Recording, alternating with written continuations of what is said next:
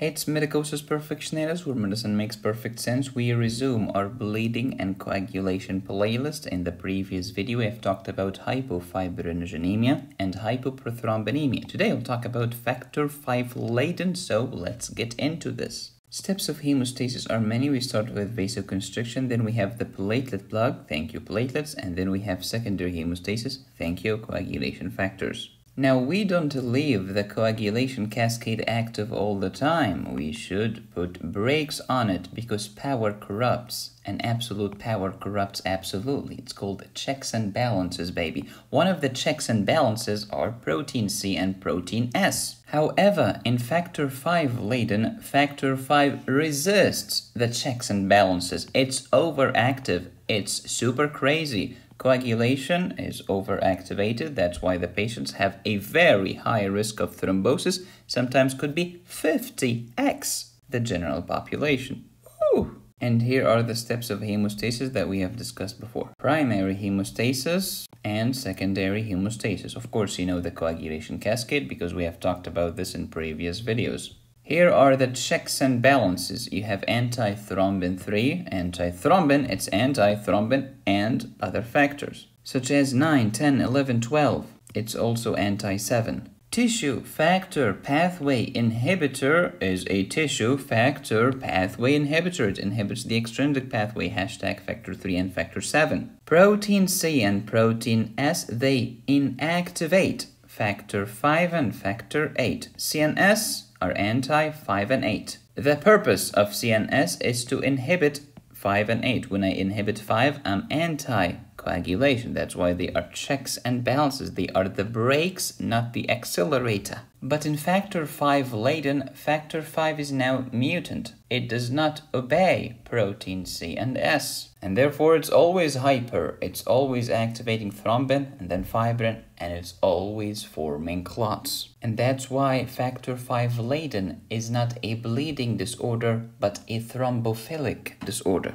Here are the coagulation factors. You have the number, you have the name, you have the disease. Remember hypoprothrombinemia? Yeah, we had bleeding. Remember afibrinogenemia? Yeah, we had bleeding or thrombosis. And today we'll talk about factor V Leiden. In factor V Leiden we have what? Thrombosis.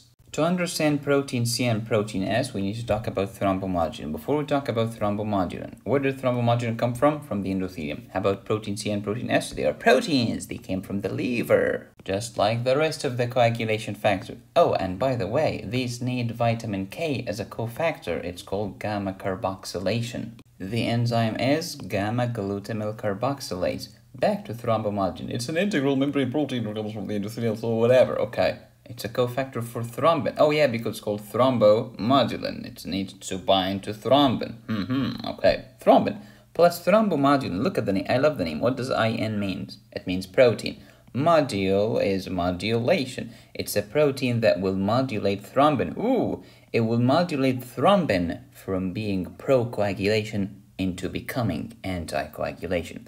Thrombin has been brainwashed thrombin plus thrombomodulin. Now we have thrombin thrombomodulin complex or TTC, which will activate protein S, and then protein S will activate protein C. And this is an important compound that's also known as activated protein C or APC. And then protein C will inactivate factors 5 and 8.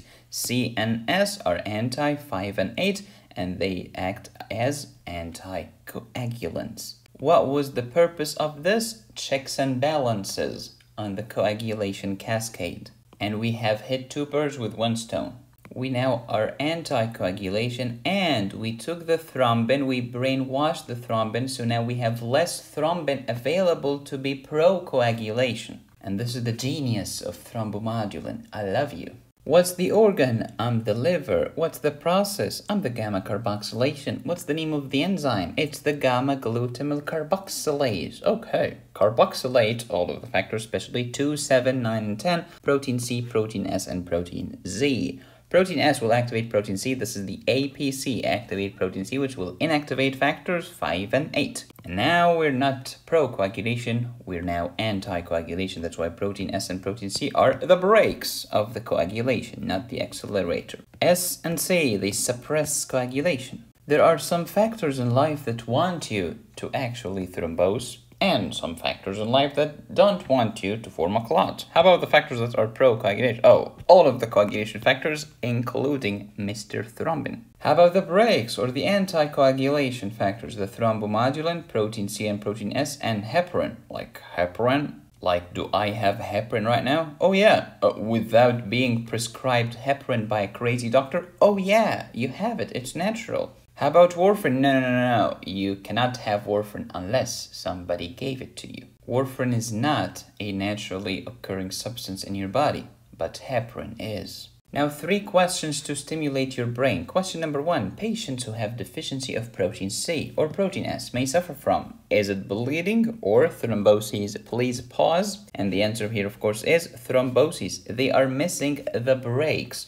Therefore, they have nothing but accelerators accelerating the process of thrombosis. Some patients have a disease called familial thrombophilia. Look at this hereditary thrombosis, like thrombosis, thrombosis, thrombosis all day, every day. These patients were found to have is it resistance to the activated protein C or more sensitivity to APC? And the correct answer here is resistance to APC. I'm resisting the brakes, therefore I have nothing but acceleration of the process of thrombosis. Factor V Leiden is a genetic disorder where patients have a mutant factor V, which is resistance to inactivation by activated protein C. This makes the patients more liable to bleeding or thrombosis. Please pause. The answer here is course, thrombosis. I'm resisting the inactivation. I'm resisting the brakes. Therefore, I have nothing but acceleration of the process of thrombosis. Medicine makes so much sense once you understand what the flip you're talking about. Did you know that infusion of protein C can ameliorate sepsis? Oh yeah, and we have a medication for this. It's called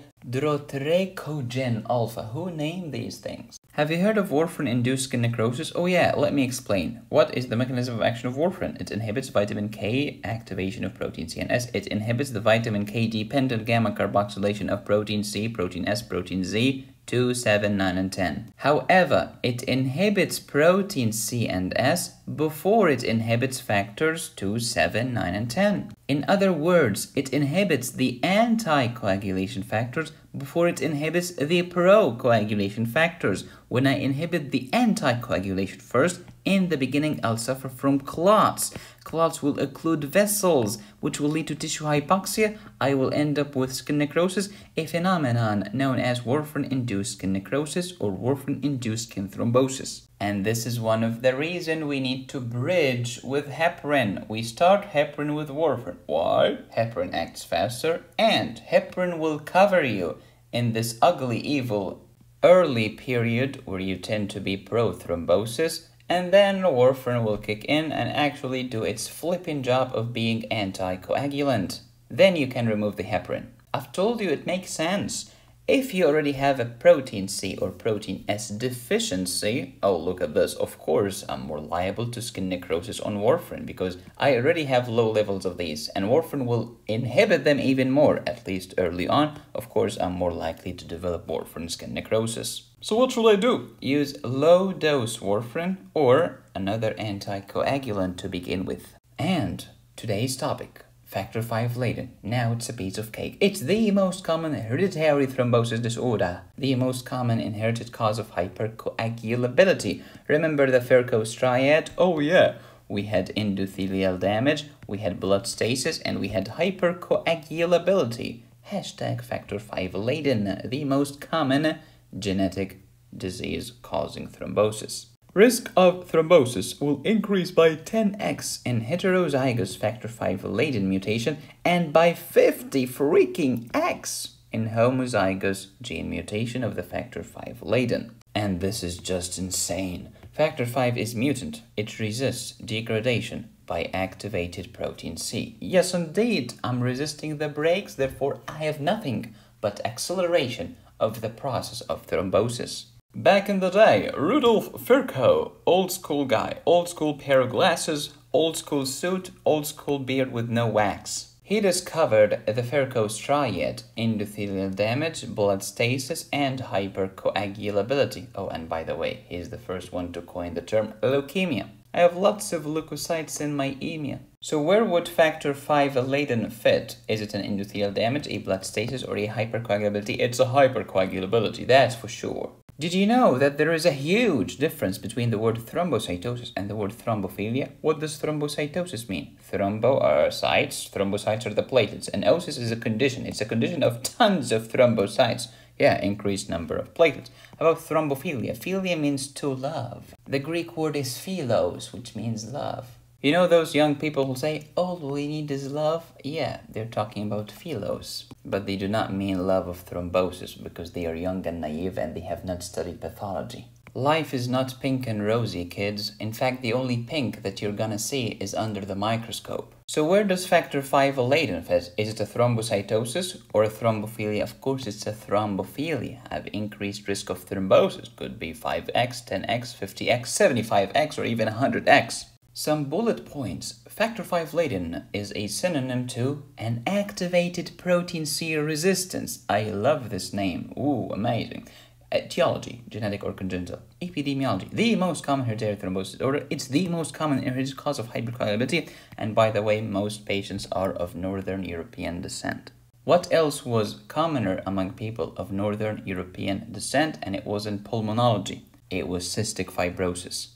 There was another disease in hematology, hereditary spherocytosis. If a dude from Wales or Sweden immigrated to Phoenix, Arizona, United States, he has an increased risk of what disease? And the answer is skin cancer. Because their skin color is so light, they are not used to too much sun. But now when they go to Phoenix, oh boy, it's really hot. Phoenix is one of the hottest cities ever. But it's far away from the equator. The distance from the equator is just one factor, not every factor. There are other factors at play that make Phoenix one of the hottest cities ever.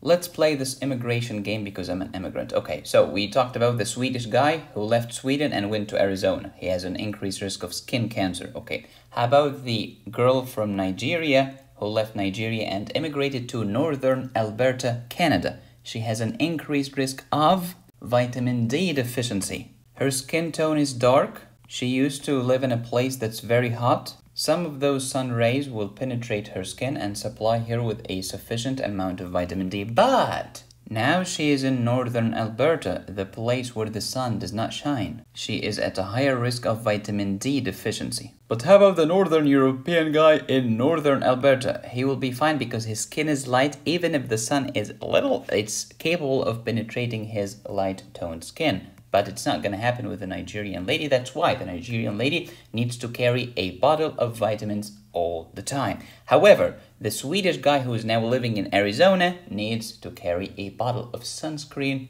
all the time. Unfortunately, no one tells immigrants this. They only keep watching Dr. Phil. God help us. Hey, Medicosis, I've never heard of this. Where did you get this from? From Professor Bruce Nathan Ames from the University of California, Berkeley, one of the few hundred most cited scientists in all fields. Let that sink in. Path of Pathophase.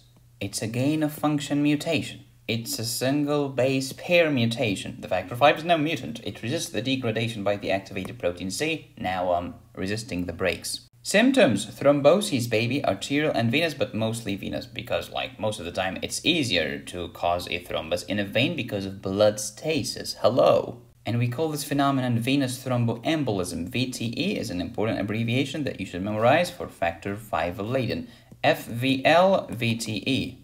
Diagnosis, genetic testing, management, and anticoagulants, and you need a specialist. You cannot expect your family doctor to treat you for this. Are you going to wait for this doctor who, at best, is capable of sticking a thermometer between your two gluteal folds to measure your rectal core temperature to diagnose you and treat you for factor V Leiden? Stop it. Genetic causes of thrombophilia or hypercoagulability. These are genetic causes, not all the causes. Factor V Leiden is the most common cause. It's also known as activated protein resistance, prothrombin G 2021 0A. I remember it by thinking of the G Summit in year 2021, which is next year, 0A. JAK2, I hate this guy, it's everywhere. JAK2 V617, it's also everywhere. Mutation. Color mutations.